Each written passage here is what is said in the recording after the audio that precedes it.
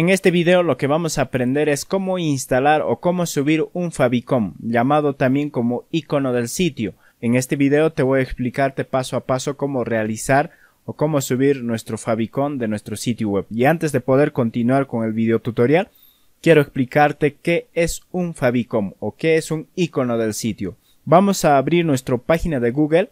En esta parte podemos ver en la pestaña de nuestro navegador un logo en esta parte aparece el logo de Google. Este se llama icono del sitio o también se llama favicon del sitio. Ahora, si abrimos la página oficial de Facebook, también podemos ver en la pestaña de nuestro navegador un icono de Facebook. Y si abrimos la página oficial de PayPal, también podemos ver en la pestaña de nuestro navegador un favicon de PayPal. Muy bien. En mi proyecto web no tengo porque no he subido todavía eh, un favicon, por eso en este video pues te voy a enseñarte cómo subir un favicon a nuestro proyecto web. Muy bien, entonces vamos a ir a nuestro escritorio de WordPress y luego en esta parte vamos a ir a un menú que dice apariencias y luego vamos a hacer clic donde dice personalizar. Es decir, vamos a ingresar al personalizador de este tema y desde ese medio vamos a subir nuestro favicon. Y una vez que cargue el personalizador del tema, vamos a ir acá donde dice ajustes generales Después, identidad del sitio. En la parte inferior podemos ver en este apartado icono del sitio.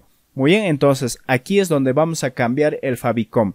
El tamaño mínimo para poder subir esta imagen es de 512 por 512 píxeles, ¿ok? Entonces, en mi caso yo ya tengo preparado mi favicon, está aquí. Entonces, este logo es lo que voy a subir a mi sitio web, es decir, a mi proyecto web. Entonces, para subir lo que tengo que hacer es seleccionar icono del sitio o es decir hacer clic acá.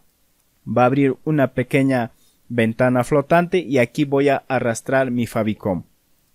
Voy a hacer clic acá, voy a arrastrar y luego tiene que aparecer un fondo azul con un marco blanco y luego tengo que soltar en medio de este marco mi favicon. Una vez que suba el favicon, ahora lo que voy a hacer es seleccionar, es decir, tiene que estar así, seleccionado y luego tengo que elegir, es decir, presionar el botón elegir. Ahora sí, en la parte inferior me muestra cómo va a aparecer mi icono del sitio, o mejor dicho, mi favicon, en la pestaña de todos los navegadores y también en la parte superior ya me muestra mi favicon. Muy bien, ahora si deseo cambiar puedo hacer clic acá cambiar imagen o deseo quitarlo también puedo presionar quitar en este botón. Ahora para que le dé efecto este cambio que hice tengo que publicar antes de poder salir de mi personalizador del tema. Voy a hacer clic acá donde dice publicar. Ahora sí voy a cerrar este personalizador del tema. Y otra vez me encuentro en el escritorio de WordPress. Ahora sí voy a hacer clic acá donde dice visitar sitio.